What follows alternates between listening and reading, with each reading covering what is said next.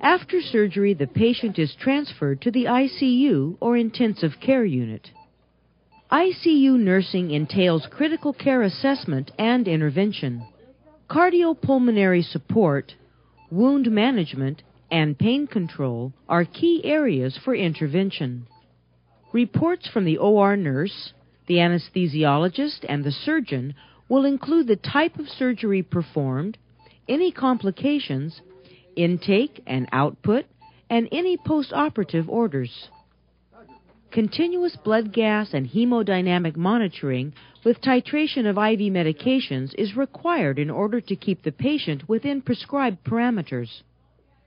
Invasive monitoring lines will be connected to allow for continuous readouts of arterial blood pressures and pressures within the heart. Multiple intravenous lines will be in place for fluid replacement, possible blood transfusions, or vasoactive drugs to maintain or lower blood pressure as prescribed by the surgeon. The arterial line is connected for close monitoring of blood pressure.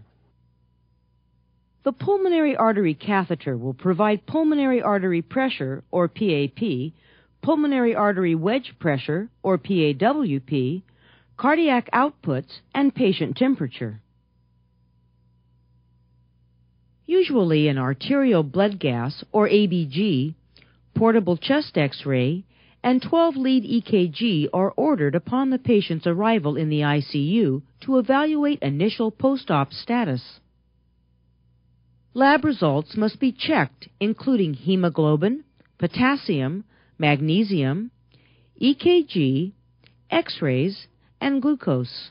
If abnormalities are present, additional assessment is necessary to determine the cause and action taken to correct the problem. The patient's wounds should be assessed for bleeding. Close monitoring of the patient's intake and output is required. This includes recording the color and quantity of chest tube drainage and urine output. Frequent head to toe reassessment of the patient is necessary. The patient's mental status should, of course, be closely observed until the effects of the anesthesia have worn off. But close, continuing observation of mental status is also important because changes can signal complications such as shock, delirium, or cerebral embolism. Frequent respiratory assessments should be performed with the goal of weaning the patient from the ventilator as soon as possible. Okay by you? Good. Perfect. Frequent position changes to prevent skin breakdown and respiratory complications are necessary. Put this one under your leg.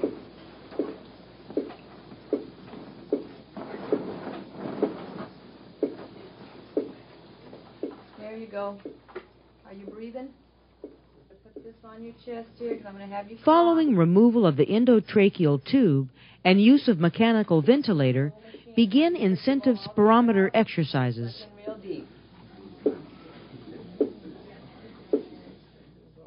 The patient's family is no doubt anxious to see the patient. This is a good time to review areas of patient care for which the family will be responsible and to instruct both patient and family of the treatment progress. Pain medication is offered to make the patient as comfortable as possible under the circumstances and to allow active participation by the patient in pulmonary hygiene activities. Finally, offer the patient ice chips and liquids with the goal of progressing to a regular diet as soon as the patient can tolerate it.